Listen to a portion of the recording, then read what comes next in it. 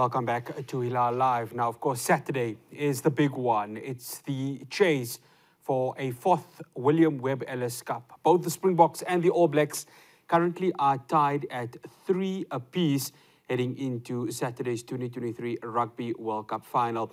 And we decided on the show to bring in a former a World Cup winner, somebody, of course, was part of that 1995 team that played the All Blacks at the iconic Ellis Park. It's none other than Hennie le Roux. Hennie, thank you so much for joining us. It's an absolute pleasure to have you here.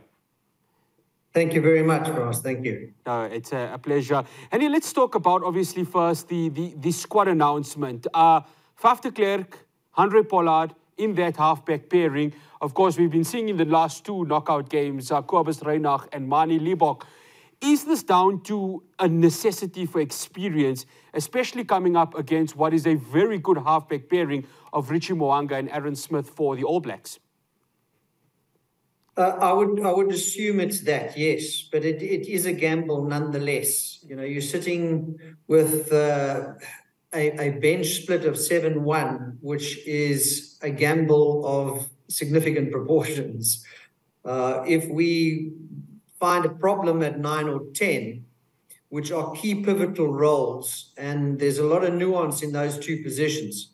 You can cover most positions reasonably, reasonably well, but those two positions are key to, to a, a final, in particular, in how they would uh, uh, you know, enable the game to flow. So um, it we we're just holding thumbs that in this instance, nine and 10 can, can go through the entire game uh, for, for South Africa. I want to touch on that 7 1 split. It didn't work against Ireland. Um, uh, for various reasons, of course. I mean, the 11 points that were on offer, uh, which were kickable, did not obviously go according to plan.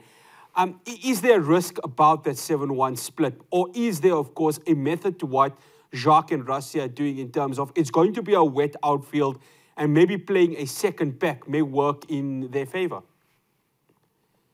Well, if the outfield is going to be wet, then you've done a little bit more homework than I have up to date. But it would definitely have uh, played a part in in having Reinach within in the squad as well. Uh, to have a left-footed scrum scrum half, uh, you know, it's good to be able to offset him with a right-footed scrum half the ability to adjust play around the sides of the scrum using a left and right footed kicker, whether it be scrum half or fly I think uh, does bring a different dynamic to the play. So um, yeah, I, am I'm, I'm even more concerned if it's if it's going to be uh, very very wet.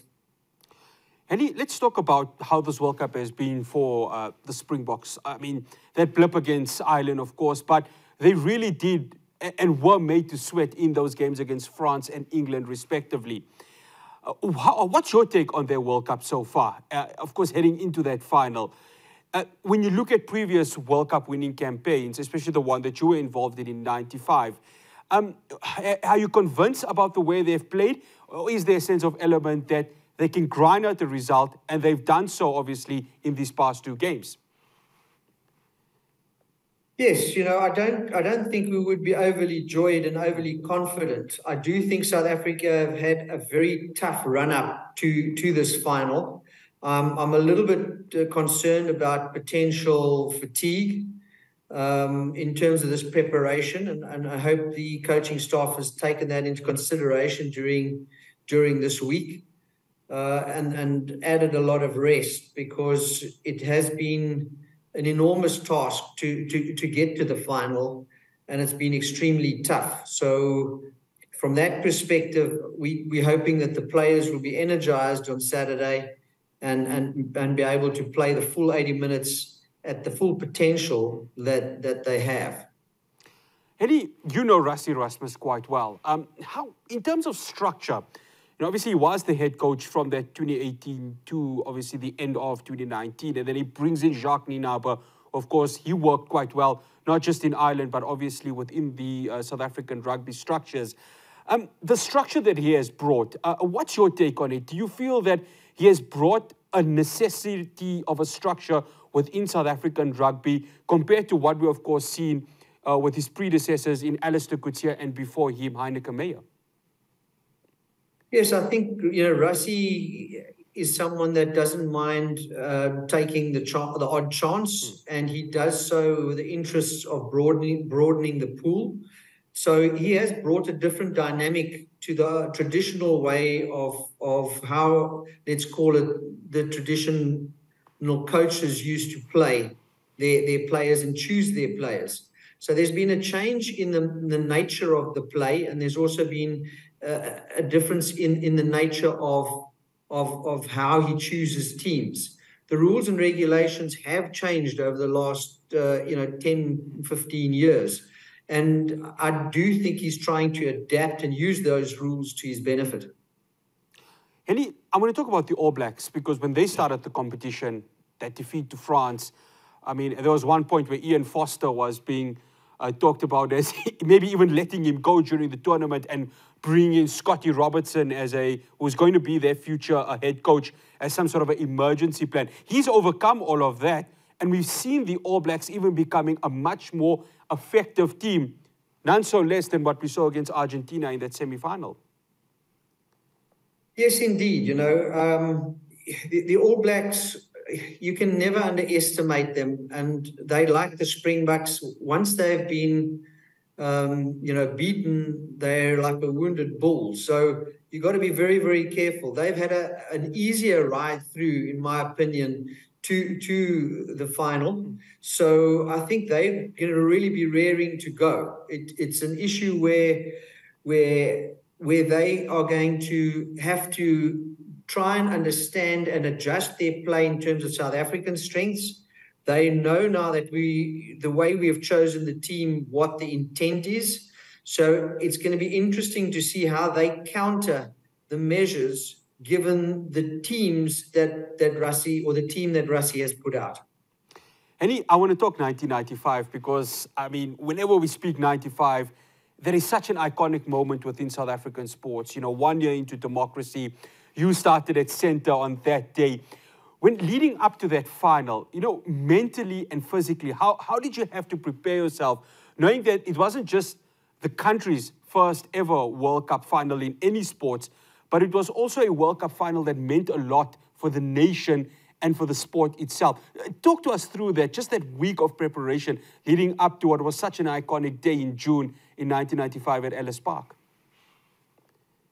Yeah, look, I mean that last week, you know, you you can't do anything more regarding fitness because you aren't going to get fit in a week. You can't do any great strengthening uh, improvements within the side individually. So each of you have trained and have got to that point where you are physically at your peak.